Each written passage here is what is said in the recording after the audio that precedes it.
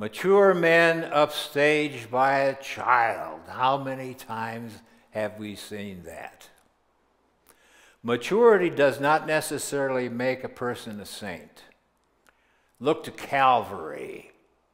Kids didn't kill Christ, big people did, who ought to have known better but didn't.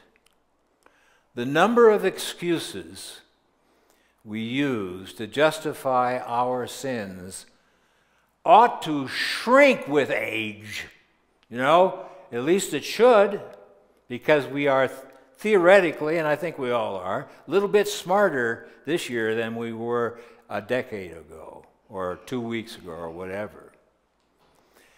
When we say we can't do what we ought to do, and when we do those things which we ought not do, lives are wrecked and hearts are broken.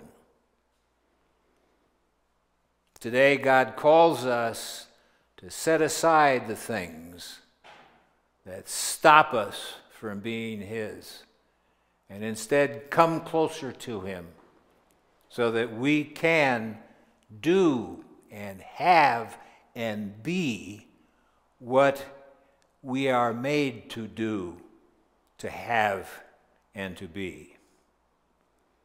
What is that? Forgiveness holiness, joy, real, godly, lasting love.